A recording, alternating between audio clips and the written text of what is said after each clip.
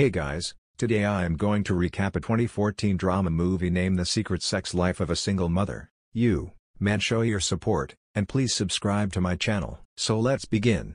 Delaine Morris, a mother of two kids, sits on her bed and makes a call. In the call, she tells the man she will be submissive to him and she will be a sub. Just as she drops her call, her son Tyler calls out for her. He tells her his friend Chad's mother told him Chad won't be coming for practice sometime that week and Delaine shouldn't pick him up. After that conversation with Tyler, Delaine decides to say her story. She says the story may be sad, frightening, and annoying, but it's her true life story. It's not a fantasy or a movie. It's a reality. More than half of people watch videos but don't subscribe. Although it looks so much like it's a fantasy. She starts the story from the beginning. The beginning, just like every other story, starts just before she became a single mother, she was married to Robert. Although it's a very unhappy marriage at home, Tyler plays a video game. Where he uses the word she, he stops him from using the words and warns him to stop the game. Just as she speaks to him, her husband Robert calls. She picks up and asks him if he has lodged into his hotel but he responds that if he hasn't lodged in he wouldn't call her. She takes that statement just as she has always been taking every other bad thing Robert does to her. He tells her he will have to extend his trip as he wants to hang out with the boys more and she allows him. She however asks if he will be home for Halloween and he tells her she has asked the same question about twice. Her daughter Amanda asks if she could speak to her father and when Delaine tells Robert about this he says he wants to meet the boys and that he will talk to them later. Delaine apologizes to Amanda, then they sit for dinner. The following day Delaine receives a call. She wakes up and picks up the call and a lady speaks. She asks of Robert and Delaine tells her he isn't around and he has gone to work. The lady ends the call immediately. Delaine calls the number back and the receptionist at the bar that the call was made from picks up. She asks the man about the lady that called her just now and he tells her it's a lady called Natasha, but Natasha doesn't want to speak to her again. She instantly calls Robert. She tells him his girlfriend called her and he asks who is the girlfriend. Immediately she mentions Natasha. He tells her he is coming home immediately. He returns home and he speaks to her. He tells her he never loved Natasha and that what was between them was purely sexual. He pours the fault on Delaine and says it's because she doesn't want him and she doesn't make him feel wanted. That's why he went to find sexual pleasure outside their home. One way or the other, Delaine takes the blames upon herself. She accepts it's her fault and she tries to have intercourse with him. She forgives him for cheating, but during the intercourse she keeps feeling hatred toward him. She knows her marriage isn't working but for her children, she decides to make it work. One day she visits a friend complaining of waist pain. She tells her she has complained to several doctors but but the response is that nothing is wrong with her. The woman recommends an acupuncturist who helps her with her neck and tells her to meet Graham, the acupuncturist.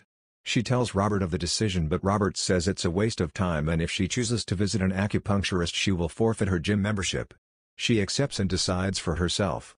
For the first time she meets with Graham and on their first meeting he tells her that pain is from the breakage of energy called chi in the body and it may be caused physically or mentally.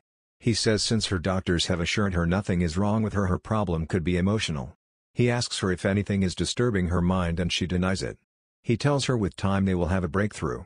She gets familiar with Graham and she increases her visit to twice a week. After several meetings she gets what she could call a breakthrough. She confesses to Graham that her husband cheated. She says she doesn't blame him because when she looks up at Natasha's picture online she looks so beautiful. But Graham tells her Robert's decision to cheat is on him and not her. Dot. She tells him she has decided to do a boobs implant so she can be more attractive to him. Graham asks her if she really wants the implant and if she is happy with it. She tells him that she knows she will be happy when she is attractive to him and when he is happy. He tells her marriage isn't built like that. He says love and marriage are built majorly on spiritual things than physical ones. There has to be a spiritual bond and she has a great load of positive energy, so Robert isn't putting his energy into their marriage. His words make Delaine feel positive about herself. She starts caring about how she looks and she looks forward to how he sees her. She starts getting better and during one of their meeting Graham tells her he is meant to advise her to stop coming regularly, but he can't do it. They start kissing. She stops for a while thinking about her decision, but she eventually continues.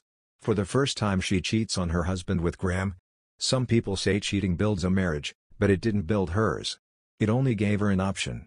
She feels like leaving the marriage, but she can considers that she doesn't want her kids to have a broken home. She speaks to one of her female friends who asked her what Graham thinks about her decision and she tells her that Graham thinks having a happy, Separated home can raise better kids than having an unhappy home. She keeps thinking of how to break the news to Robert, until one night that night, Robert tells her he will be scheduling her for her breast implant.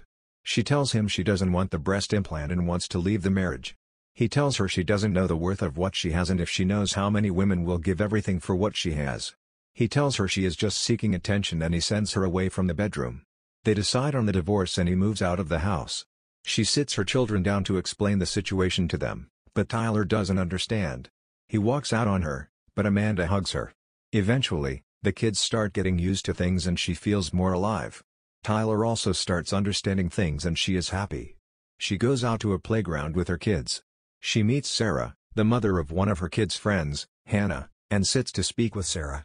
Sarah notices she is happy despite being recently divorced and she tells Sarah she has met someone else. She talks about Graham and it seems like Sarah knows Graham. Sarah tells her Graham is engaged to a pregnant woman with his child. She refuses to believe her words, so she approaches Graham, who says he didn't tell her because he assumes she will know the truth by herself. She tells him she left her husband for him, but he tells her she left him because he didn't appreciate her. She leaves his home heartbroken and shattered. Later, her friend advises her to try online dating. She messages a man named Cal and they intend to meet at a bar. When she gets to the bar, she sits and waits for him, but he sits her up as she leaves the bar.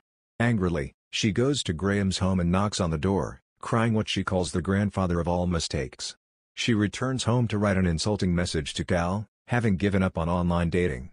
She messages a man named Cal and they intend to meet at a bar. When she gets to the bar she sits and waits for him but he sits her up as she leaves the bar. Angrily she goes to Graham's home and knocks on the door crying what she calls the grandfather of all mistakes. She returns home to write an insulting message to Cal. Having given up on online dating she receives a message from a man named the Duke who says he will teach her how to be assertive by being dominating as they talk more. He says he doesn't do rough sex but he is dominating. She tells her friend about him sends her kids to her friend and then has phone sex with the Duke. He orders her to remove her clothes by the window. She hesitates because she doesn't want her neighbor to think she is, underscore, but he tells her being, underscore, is being assertive. She does what he asks her to do. Later she meets with a 24 years old guy named Peyton in hopes of making him her sex slave based on Duke's instruction. The date is going on well until Robert comes and he sees her later and says she has become a, underscore, but she tells him who she is doesn't concern him. She narrates this to Duke who commands her to go to a sex club and see how assertive women behave. She goes there with Peyton on her three-month state anniversary with Peyton. He tells her he sees a future in her but she informs him he is just a kid. Upon getting home she sees Duke has sent her his picture for the first time. She figures most single mothers have work so she decides to start an online business of interior decoration. She tells Duke and he encourages her to do it. She visits Seattle to meet Duke. For the first time he gives her a cloth and commands her on how to wear it he is so dominant that she finds herself doing everything he wants after her stay with him. She learns about business and figures being subdominant isn't about the controller but about the one who is being controlled. She enjoys Duke control over her because she has given him control. She figures she has to start controlling her life and she learns a lot from Duke. She leaves for home starts her interior decoration business and as well she invites Robert for Christmas something she could have never done months ago. She has learned how to guard herself and she aims to guard him too. She teaches him to forgive himself during Amanda's birthday. She goes to a supermarket to buy a tiara. She isn't tall enough to pick it up from the shelf and Amanda Aiden helps her. Aiden collects her number hoping to get feedback after the party. She allows Robert to bring his new girlfriend Pam to the party so he will introduce her to the kids. They all have a fun party and she allows the kids to leave with Robert and Pam she tells herself that she loves that Robert is happy and is glad she has become the woman she wants. After the party she receives Aiden's call and they talk and the movie ends here. So I hope you enjoy the video so click any video of freedom and enjoy next. And don't forget to subscribe our channel and hit the like button. Thank you for watching. See you soon